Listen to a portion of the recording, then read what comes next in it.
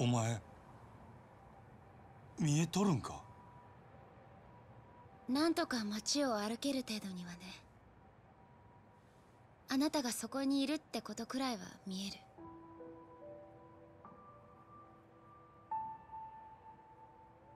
どないなっとんねん？今日あの殻の一坪で兄と10年ぶりに会った。でもその時私は目が見えなかったし兄はもう殺されてた。その兄の体に触れた時ずっと見えなかった目が光を感じ始めたの。そんなことが。あるんか？兄の顔はどんなに顔を近づけてもはっきりとは分からなかった。分かったのはひどい拷問を受けて殺されたこと。堂島組のヤクザたちが兄をあんな土地のせいで。まさか復讐なんて考えなややけになるな。事情が変わったんや。俺の雇い主はもうお前を殺さん言うとる。今のそいつの狙いはお前の命じゃない。あの土地をお前から買い取ることなんや。せやからそいつに会うて土地手放したらもう誰にも狙われんようになる。安心せ俺が一緒におる。何があっても必ず守ったる。私のことなんかどうでもいい。私には死んでもやらなきゃいけないことがある。もしあなたが私を助けたいと思うなら手を貸して。兄を殺したのは殻の一粒を狙うヤクザたち。堂島組の3人の幹部。そして堂島宗平。俺にそいつらを殺せっちゅうんか。お金なら払える10億で足りる？もともと私のことも殺そうとしたんでしょお願いだから。あいつらを殺して。きっとあなたは兄がそのために私と出会わせてくれたんだよ。だったら兄は私が敵を撃つのを望んでるってことでしょお前の兄貴がそんな男のわけないやろが。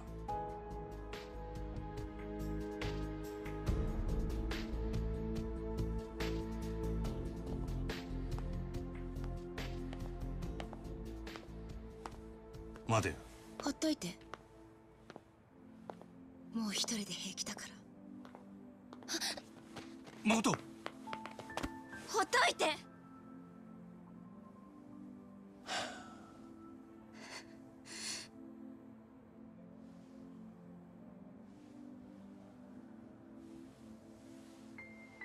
なあ。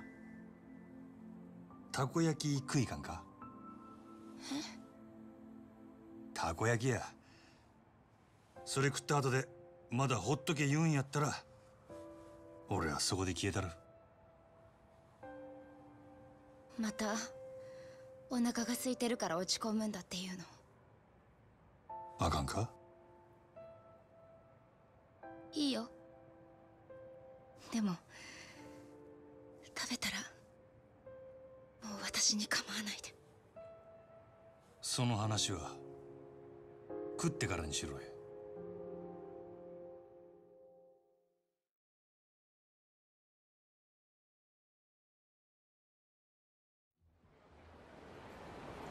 本当に食べに行くの？たこ焼き。当たり前やろ。行くで。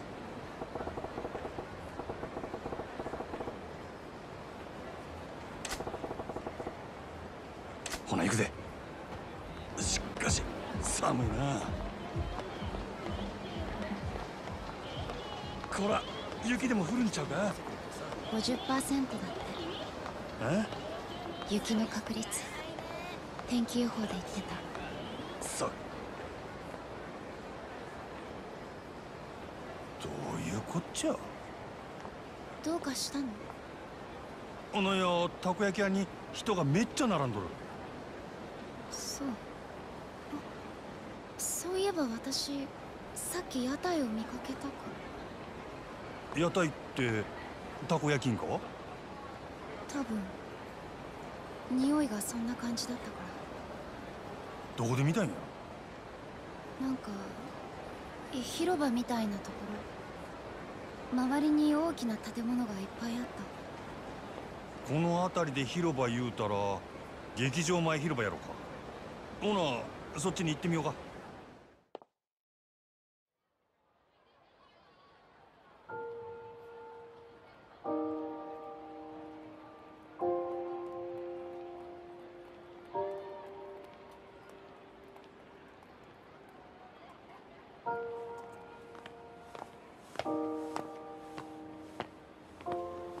段差気ぃつけや。二つくれや。はいよ。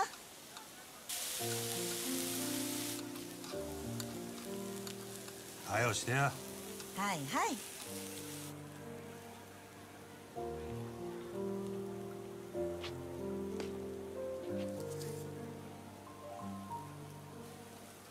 優しいんだね。うるさい。わいい人じゃない。ね。ぐだぐだ言うとらんとさっさと焼けや。いい人です。私なんかのために大変な目にあってもまだ私を助けようとしてくれる。この人がいなかったら今頃もう私は。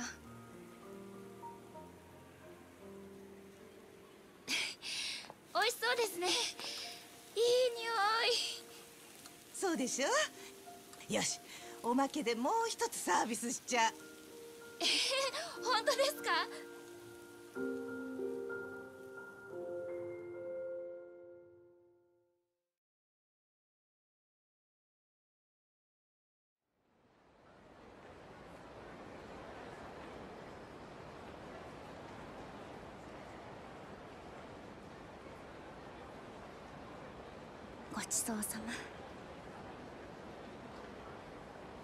大阪にも負けてないね。カムロ町のたこ焼き。なあ。そんだけお前は世間知らずやったっちゅうことや。そうだね。どうやって堂島組に復讐する気なんやお前。教えない。アホな真似はよせや。それにもし俺が手伝ったとしても組の人間に手出したら連中はどこまでも追ってくる。結局お前は殺されんだよ。その場合どないな目に遭わされるか俺にもわからんね私のことはどうでもいいって言ったでしょ。もう少しだけ考えろや今さらそんな急ぐ必要あらへんやろ。それならあなたの方も考えて私に手を貸すかどうか。あなただって考えが変わるかもしれない。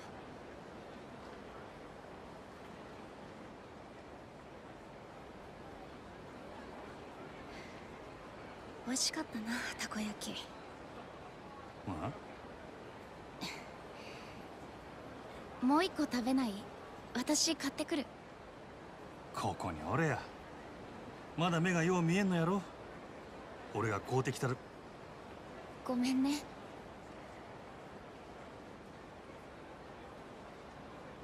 すぐ戻ってくるわ。ちょ待っとけ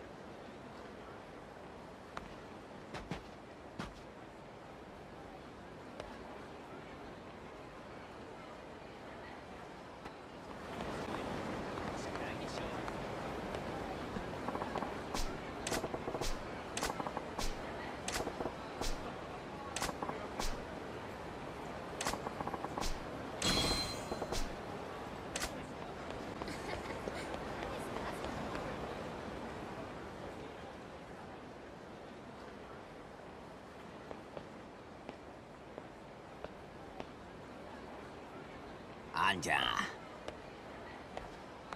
ああたこ焼きくれや何言うとるんやさっき公園から出てきたお姉ちゃんからあんちゃんに伝言預かっててね。お前何やと？その子もあんたの名前知らねえっつうからたこ焼き持ってんの目印に声かけろってさ。お姉ちゃんは誠って名乗ってたけど伝言の相手あんたでいいんだよな。あのアホ。明日の5時。空の一坪の上にあった屋上に来てって。そんだけ伝えたらあんたには分かるって言ってたけど。明日5時。屋上。伝言のお礼はあんたからたこ焼きもらってくれってささっさと持ってけやごちそうさん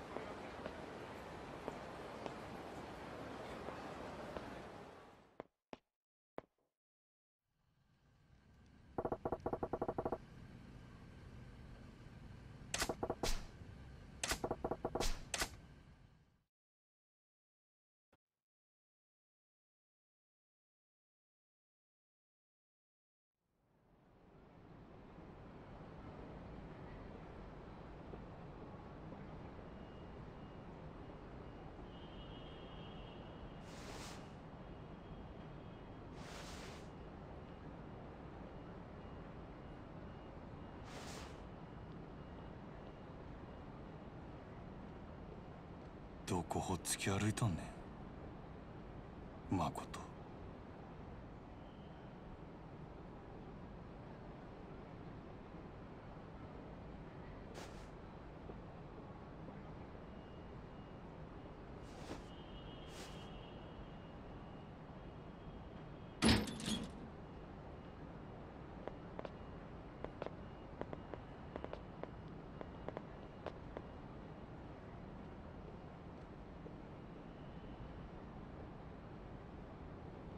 どういうこっちゃ。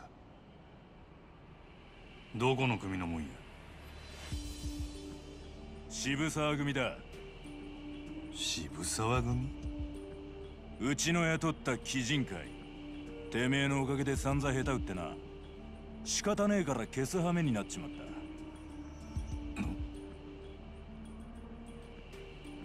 た。お前らが西谷を手間かけさせやがって。いい加減目障りだぜ。誠はどないした？あの女からうちの親父に土地を譲りてえって連絡が入ってな。丁重にお迎えしてやったよ。なんやと？あの子が自分から渋沢に連絡したっちゅうんか。振られちまったな今頃親父は女を堂島組長に差し出してる。しかし女ってのは分かんねえもんだな。あいつはわざわざお前がここにいるって俺らに教えてくれたよ。しつこく付きまとってくるから追い払ってくれってよ。堂島組長と女はどこで会うんや？関係ねえだろ。お前の行く先はあの世なんだからな。あの子は俺を呼んどるんや。せやからお前らをここに起こした。はあ？あの子はどこにおんねや！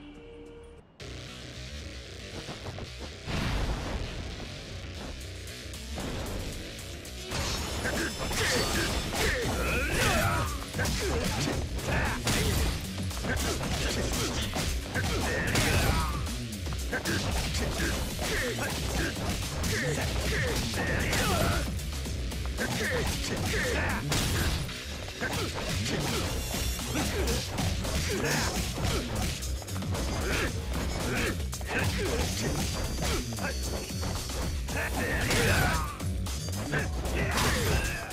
Yeah!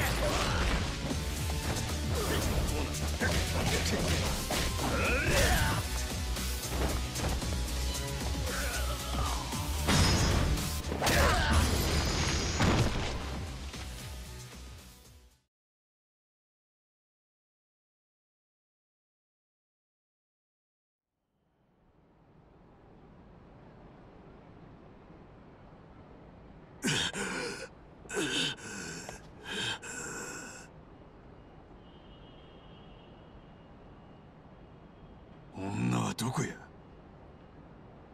そそらはよ言えや。嫌な他のもんに聞く。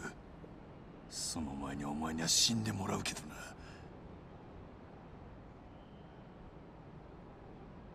はよ言えや！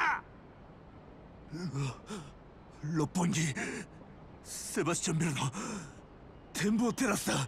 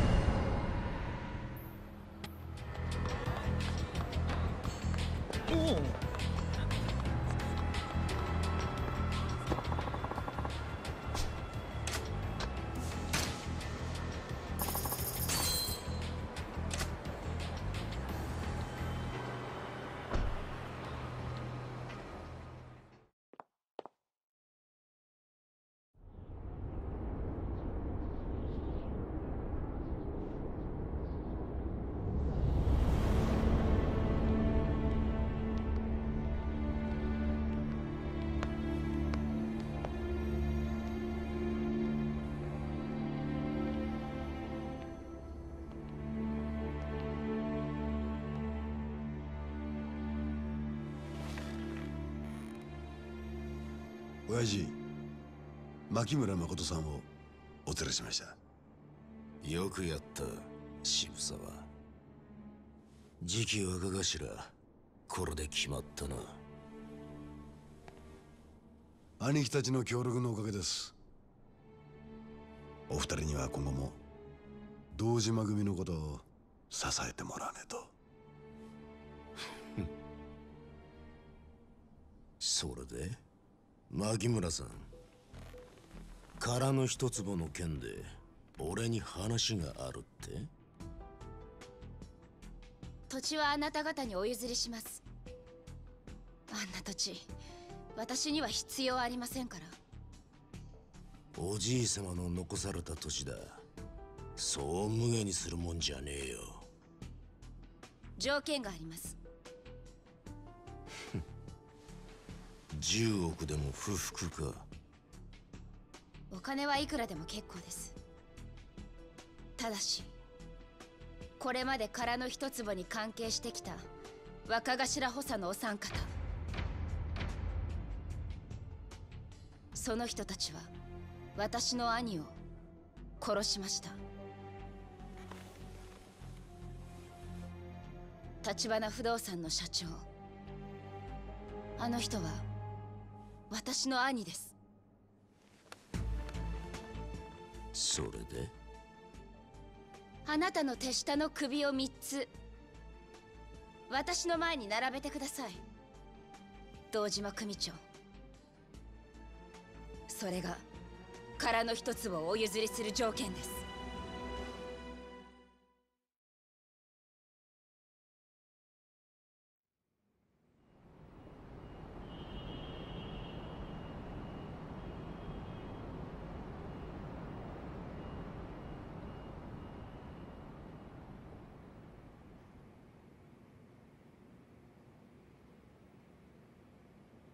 おい。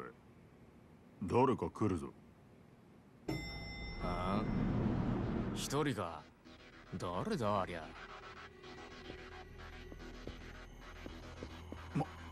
真島渋沢組が始末したんじゃねえのか。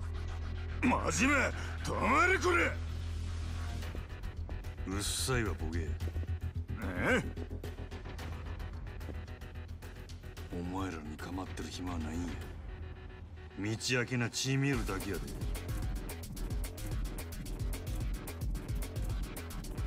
さっさとどかんかいボケが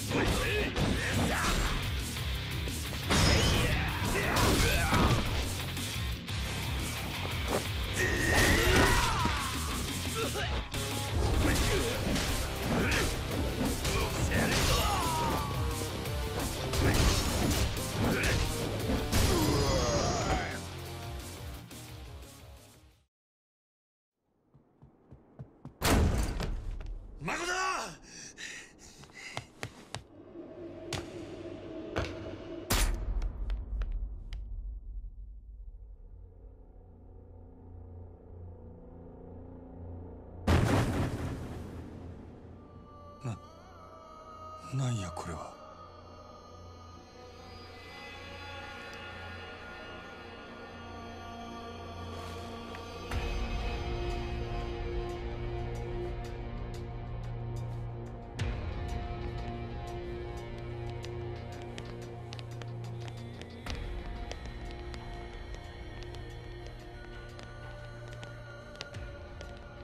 何しとるんやお前。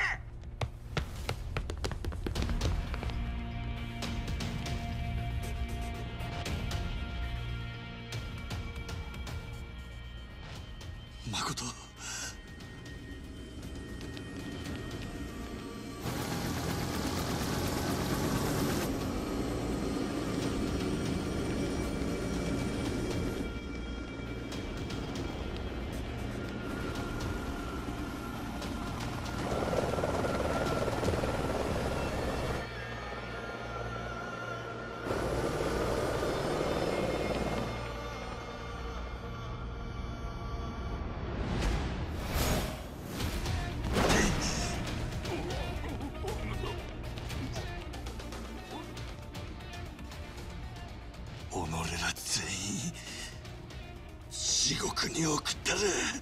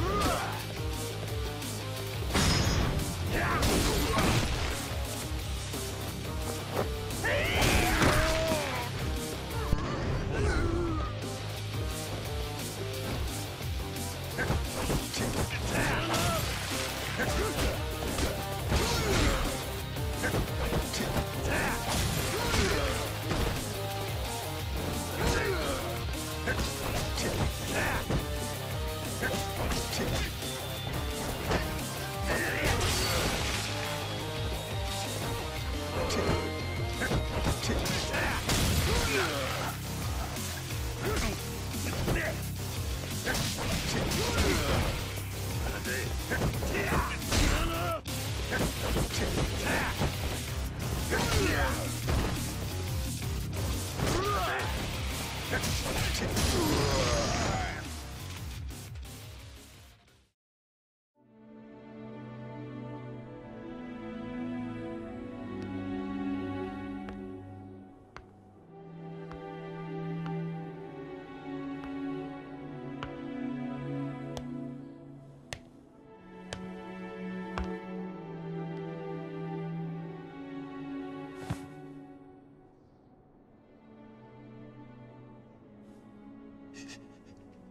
生きとるおい誠。聞こえるか？しっかりせえ。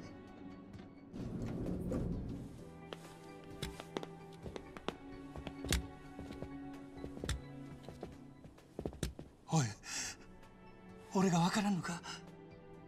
返事せえや。誠。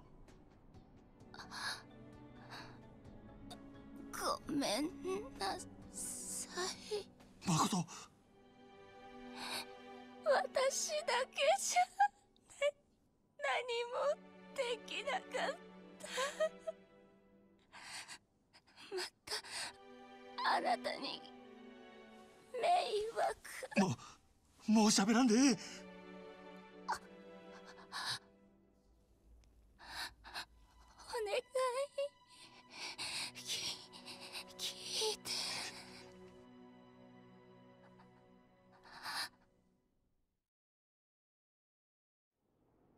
あなたの手下の首を3つ。私の前に並べてください。堂島組長。それが殻の一つをお譲りする条件です。可愛い子分の首で土地を買えと？俺がその条件を飲むと思うのか？お嬢さん。あなたが条件を飲まなければそれはそれで構いませんその時は他の方に土地を売るだけです。なるほど。ただ俺が思うに言った。あの殻の一坪って土地は少し過大評価されすぎている。あんたは知らんだろうがあの一坪は周りの地上げが相当進んだ時に偶然見つかった土地だ。町のど真ん中にあんな端切れの土地があるなんてことはお役所でさえ気づいてなかった。それが？そのまま知らなかったことにして再開発計画を進めることもできる。だが再開発が進んだ後になってあの土地の所有権を主張されるとまずい。裁判でも起こされりゃ大事だ再開発は白紙になる可能性も高い。でも逆に言えば土地の所有者が妙に騒ぎ立てさえしなけりゃ役人もヤクザも困りゃしねえってことだ。あの土地の相続権持ってんのはもうこの世にあんた一人しかいない。権利関係調べ上げたがようやくその裏が取れた。こんなこともだろうがヤクザをなめちゃいけねえな。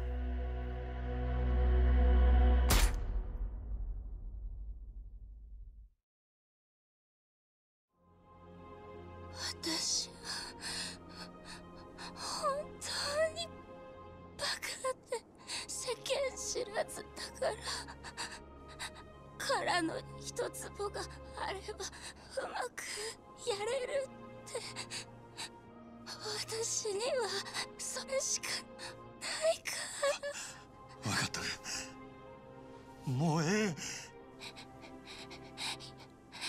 るしかなかった。のくそ誰か誰かこの子を。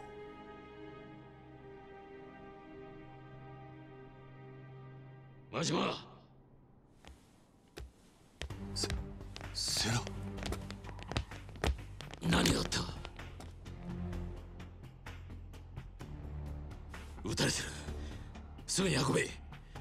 この人を死なせるな。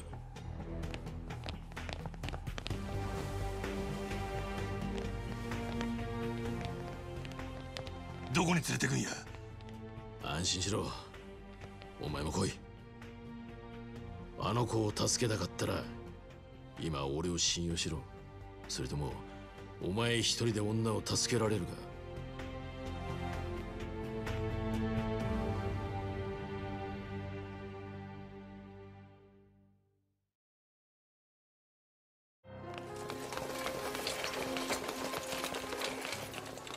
誠おい聞こえるか？死ぬな。死ぬんやない。